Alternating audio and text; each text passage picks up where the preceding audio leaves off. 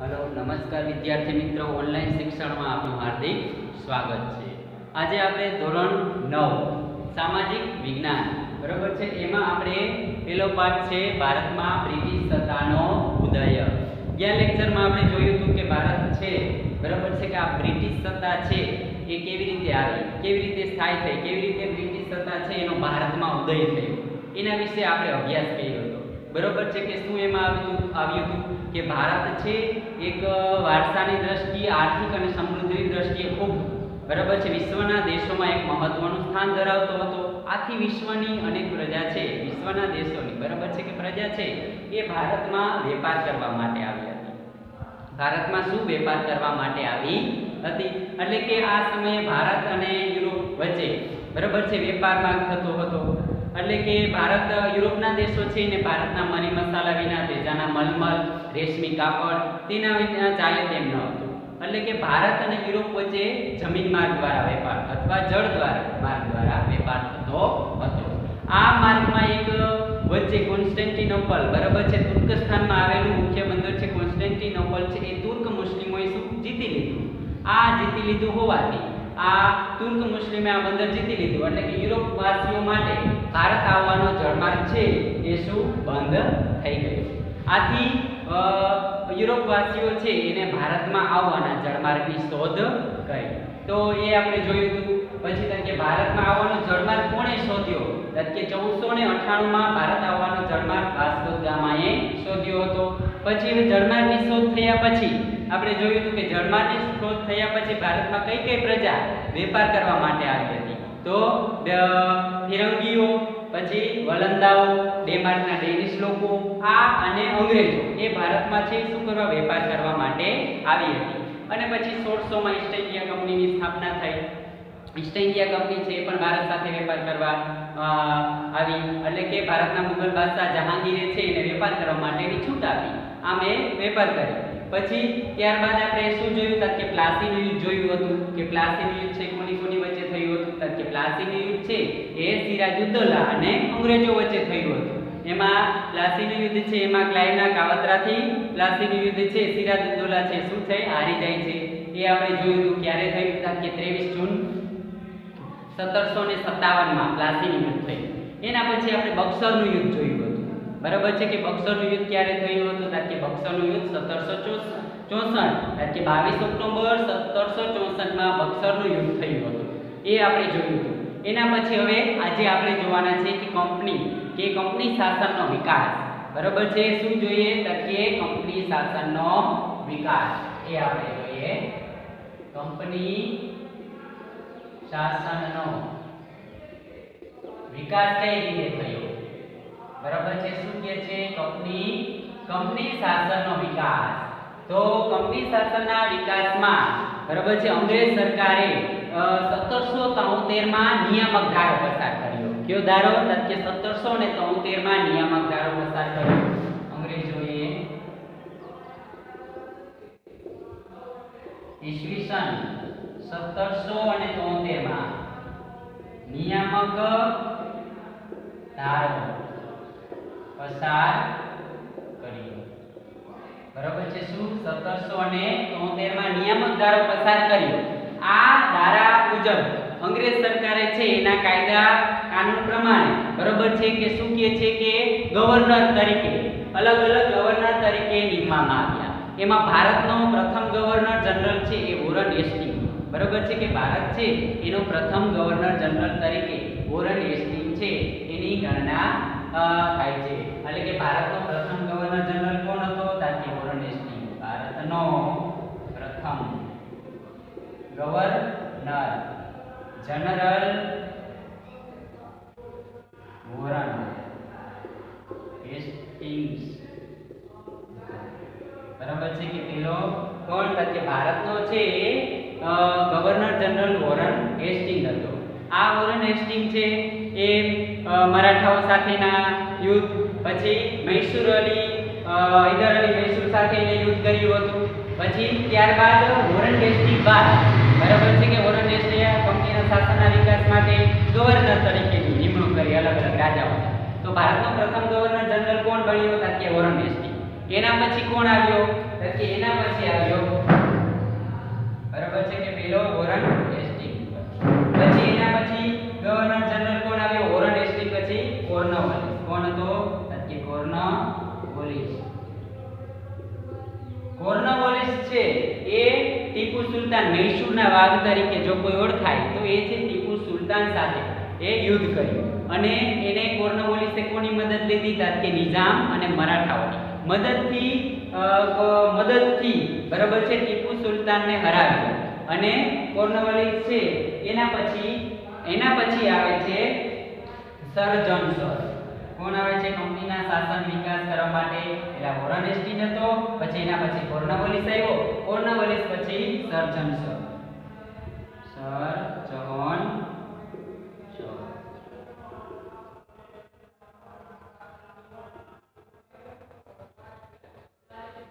બરાબર છે? કે શું કીધું? કે કોર્નવાલિસ પછી સર જવાન સોર આવ્યો.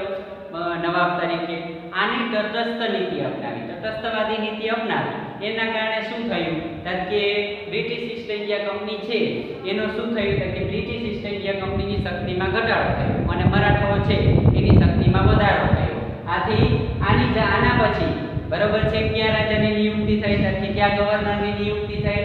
કે વેલેસ ક્યાં આવે છે?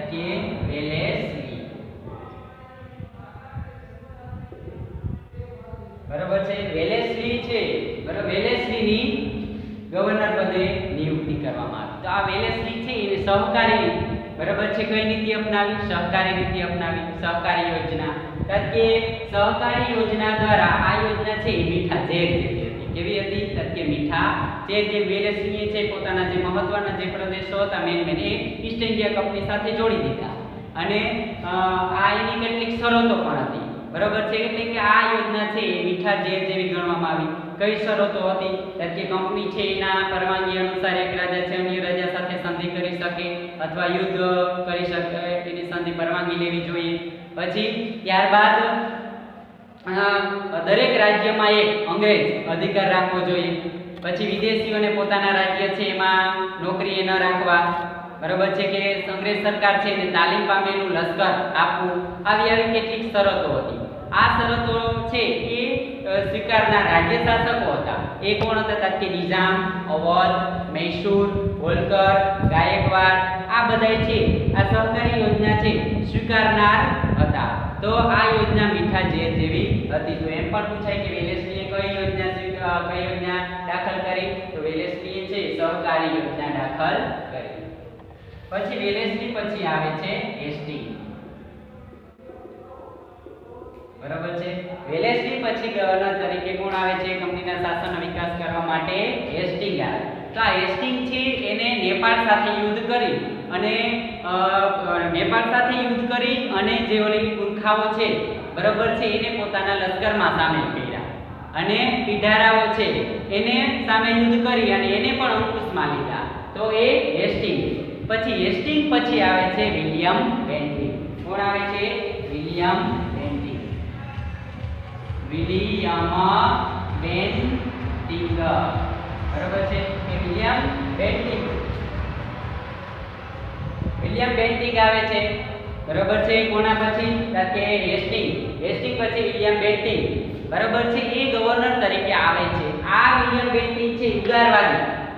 બરાબર છે? ઉદારવાદી માનસવાદ ધરાવતો હતો. તો એમ પણ પૂછે કે ઉદારવાદી માનવ માનસકાર ધરાવતો ગવર્નર કોણ હતો? તો કે વિલિયમ બેન્ટિંગ એ હતો. તે અન્ય રાજાની જે રાજાઓ છે, એના પહેલાના આ બધા રાજાઓ છે, બરાબર છે, ગવર્નર છે, એનામાં જે અન્યાય પ્રજાને થયો હતો, એ અસંતોષ દૂર કરવા માટે, બરાબર છે કે વિલિયમ બેન્ટિંગ છે, ઉદારવાદી દર્શાવે. બરાબર છે?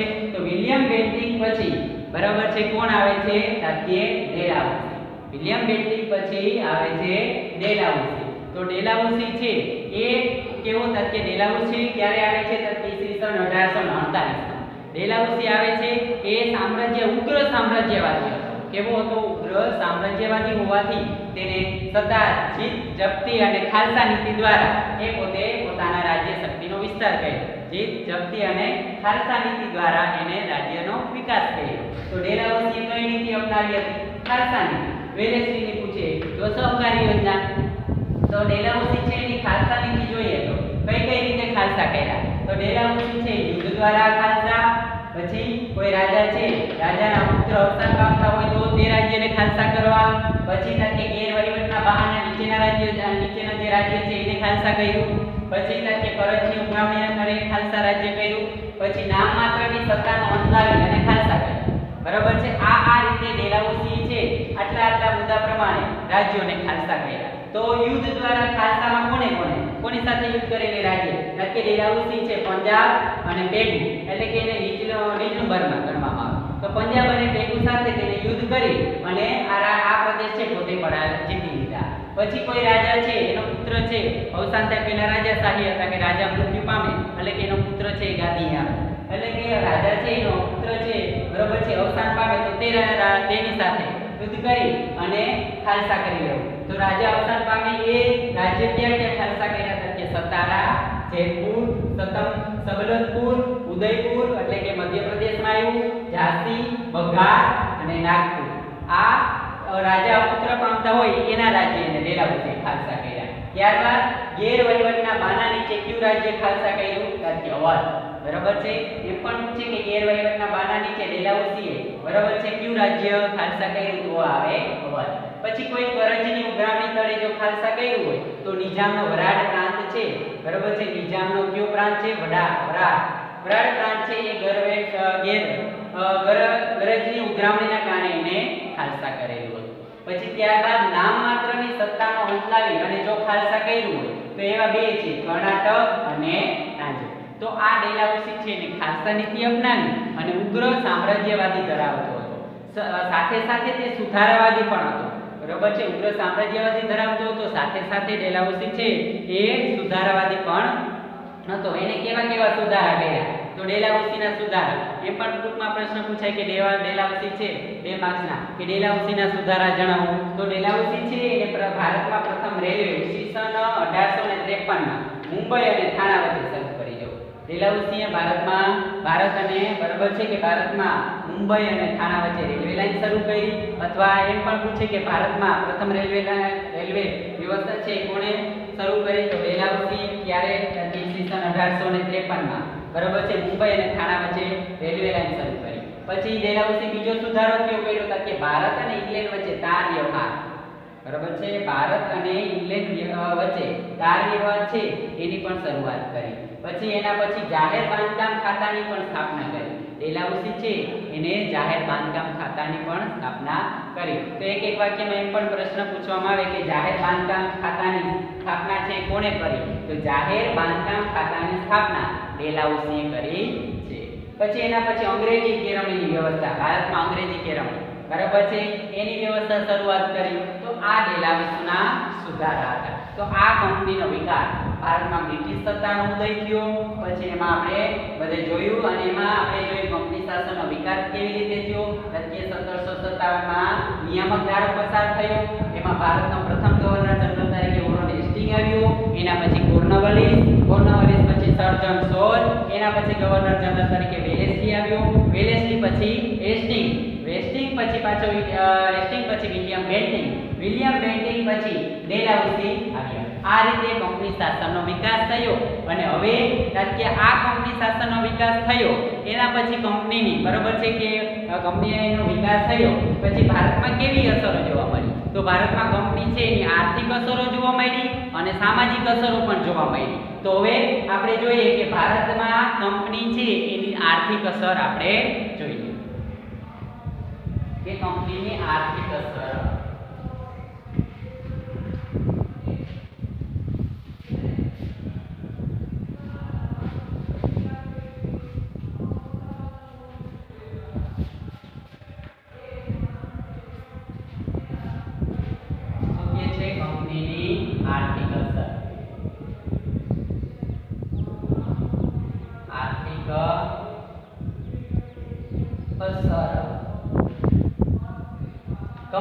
આર્થિક અસર, બરાબર છે? કે કંપની બ્રિટિશ સત્તાનો ઉદય થયો, તો કેવી કેવી આર્થિક નુકસાન થયું, કેવી કેવી અસર થઈ? ત્યારે કે ભારતનો ખેડૂત છે, એ પાયમાલ અને ગરીબ થઈ ગયો. શું? ત્યારે કે ભારતનો ખેડૂત ભારતનો ખેડૂત પાયમાલ પાયમાલ અને ગરીબ થઈ ગયો.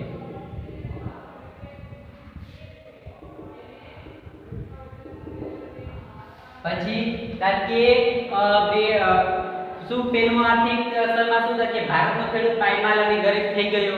પછી અંગ્રેજ સરકારે અથવા બ્રિટિશ સરકારે બરોબર છે કે પોતાના ઉદ્યોગનો વિકાસ કરવા માટે શું કીધું કે બ્રિટિશ સરકારે ભારતમાં, બરોબર છે, ભારતમાં અંગ્રેજોએ, અંગ્રેજ, અંગ્રેજોએ પોતાના ઉદ્યોગનો વિકાસ કરવા માટે અથવા ઇંગ્લેન્ડમાં ઉદ્યોગનો વિકાસ કરવા માટે?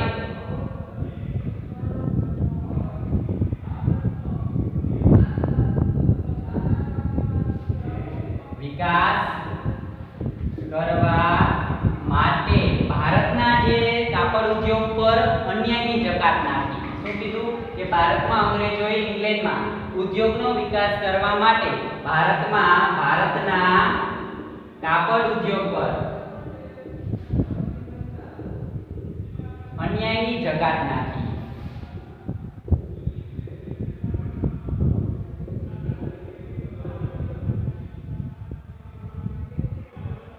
બરાબર છે આ બીજી આર્થિક અસર આર્થિક અસર હતી એ ભારતમાં અંગ્રેજોએ ઇંગ્લેન્ડના ઉદ્યોગનો વિકાસ કરવા માટે ભારતના કાપડ ઉદ્યોગ પર શું અન્યાયની જકાત નાખી? પછી એના પછી થાય કે ભારતના હુનરો છે એને કચરી નાખવા માટે.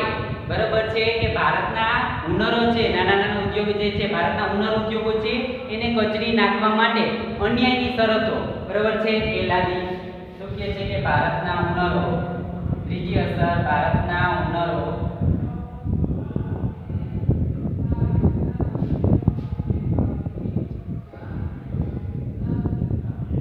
શું કીધું કે ભારતના હુનરોને કચરી નાખવા માટે અન્ય શરતો નાખી બરાબર છે કે ભારતના પુનરુદ્યોગોને કચરી નાખવા માટે અન્ય રીત રીત શરતો નાખી.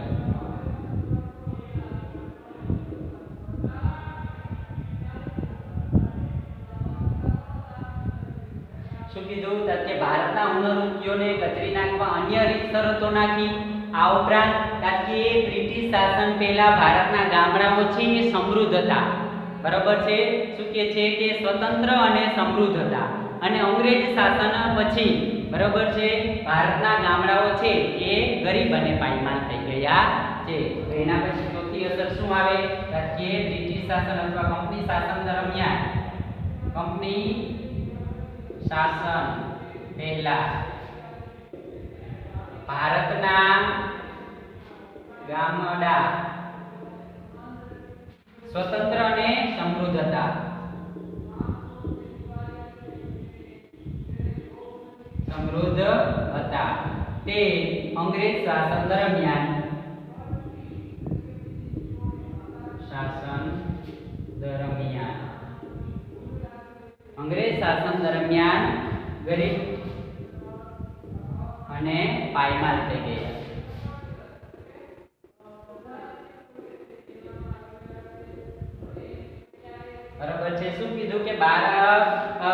ભારતમાં જે કંપની શાસન પહેલા ભારતના ગામડાઓ છે, એ સ્વતંત્ર અને સમૃદ્ધ હતા. તે અંગ્રેજ શાસન દરમિયાન ગરીબ અને પાયમાલ થઈ ગયા છે. પછી ભારતના વેપારીઓ છે, એ બેકાર અને બેરોજગારી બન્યા કંપનીની આર્થિક અસરથી. ભારતના વેપારીઓ વેપારીઓ છે, એ બેકારી અને બેરોજગાર બની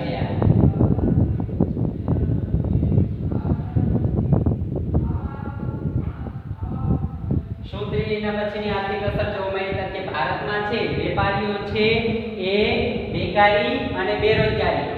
બરોબર છે? એ બની ગયા ભારતના. પછી ભારતમાં નાના મોટા ઘણા બધા ઉદ્યોગો છે પડી ભાંગ્યા.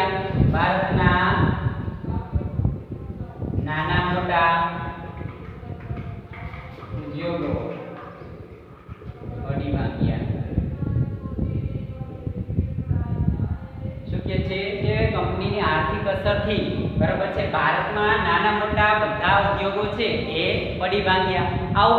ઈસ્ટ ઇન્ડિયા કંપની છે એની